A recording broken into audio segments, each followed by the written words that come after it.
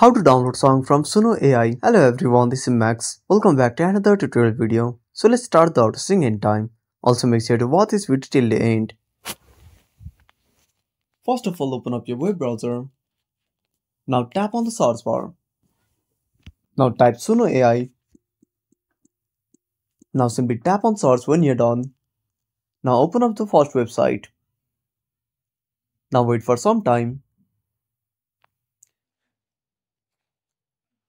Now tap on the create icon. Now create a music. Now simply tap on create. Now tap on three dots. Now scroll down. Under download simply tap on audio. Now wait for some time. And that's it.